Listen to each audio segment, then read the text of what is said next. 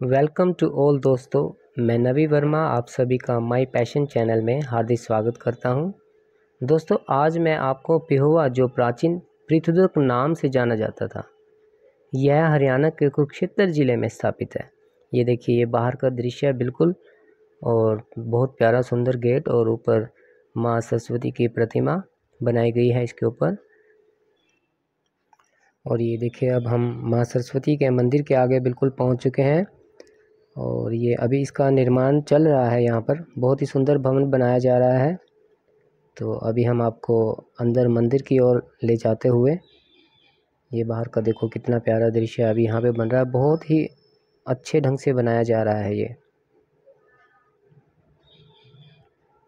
और ये हमारे कैमरामैन की तरफ़ से आपको अंदर ले जाया जा रहा है। अब माँ सरस्वती मंदिर के बिल्कुल सामने आपको दर्शन भी करवाए जाते हैं। ये देखिए अभी।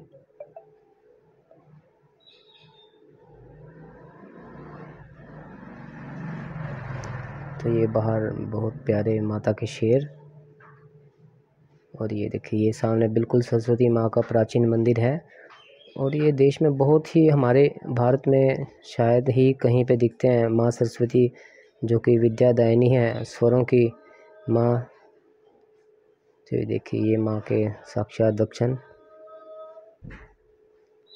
दोस्तों, जैसा कि आपने हरिद्वार और गया जी के बारे में सुना है, यह पिहुआ भी वैसे ही अत्यंत प्रसिद्ध है। इसकी बहुत सी महिमा की कहानियाँ हैं, जिसका वामन पुराण में बहुत बार उल्लेख किया गया है। कहते हैं, सभी पवित्र नदियों में स्नान एक तरफ़ और अकेले सरस्वती नदी में स्नान कई गुना ज़्यादा महत्व रखता है। यहाँ हज़ारों मील दूर दूर से लोग आकर पितृमोक्ष, शांति और पिंड भरवाने के लिए आते हैं। कहा जाता है, मृत्यु चाहे जल, थल, आकाश कहीं की भी हो, यहाँ पिंडदान करवाकर संपूर्ण मोक्ष की प्राप्ति होती है, जबकि गंगा में अस्थि प्रवाह और गया जी में देह प्रवाह से मुक्ति होती है, लेकिन यहाँ पर सभी प्रकार की मुक्ति हो जाती है। जब महाभारत युद्ध समाप्त हुआ तो युधिष्ठिर बहुत अशांत रहने लगे। तो श्री कृष्ण जी ने युधिष्ठिर को कहा कि यहीं पिहोवा सरस्वती तट पर युद्ध में मारे गए सभी की पितृ शांति पिंडदान करवाकर उनको मोक्ष प्रदान किया जाए। तो जैसे ही युधिष्ठिर ने यहाँ पर किया तो उनका मन भी शांत हो गया। कहा जाता है, पितृ दोष लगने पर यहाँ पितरों की मुक्ति का पाठ पूजा यज्ञ करवाने से तुरंत लाभ मिलता है। और भगवान इंद्र ने भी अपने पितरों का पिंडदान यहीं करवाया था। यहाँ हर रोज़ सैकड़ों की संख्या में लोग आकर पिंडदान करवाते हैं। और यहाँ पर चैत्र मास में लाखों की संख्या में लोग आकर मेले में शामिल होते हैं ताकि अपने पितरों को मोक्ष की प्राप्ति प्रदान करवा सकें। दोस्तों, यहाँ तक कि पिहुआ के बारे में यह भी कहा जाता है कि यहीं आठ कोस की धरती पर ब्रह्मा जी ने सृष्टि की रचना की थी, जिसका मैं आपको अगले वीडियो में बताऊँगा और उस जगह पर लेके जाऊँगा जहाँ पर ब्रह्मा जी ने सृष्टि की रचना की थी। वहाँ पर ब्रह्मा जी का बहुत अच्छा प्राचीन मंदिर भी है, शिव मंदिर भी है तो वहाँ के भी आपको दर्शन करवाए जाएँगे।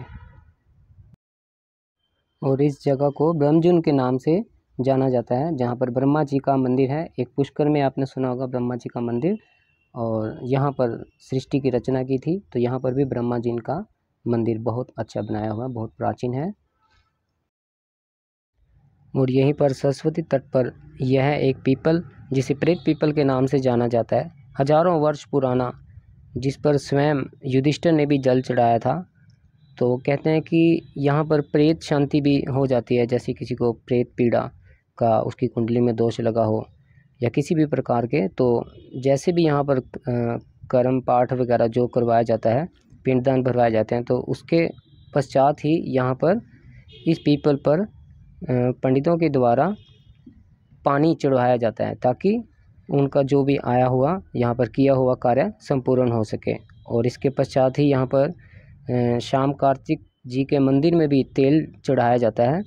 श्याम कार्तिक जी भोलेनाथ जी के बड़े पुत्र, उनका मंदिर सिर्फ़ यहीं पर ही आपको देखने को मिलेगा। इसके बिल्कुल ही बैक साइड में कार्तिक जी का मंदिर है।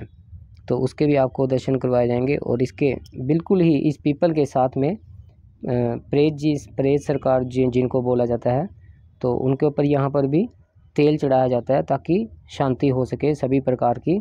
दोष जो लगे हुए हैं, सबसे संपूर्ण उनका मिटान हो सके। और यहीं पर देखो, यहाँ पर आपको तेल वगैरह लेने की सुविधा भी उपलब्ध करवाई गई है।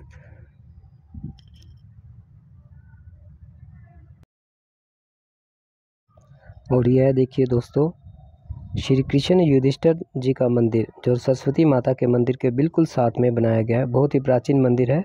यह भी आपको सिर्फ़ यहीं पर देखने को मिलेगा।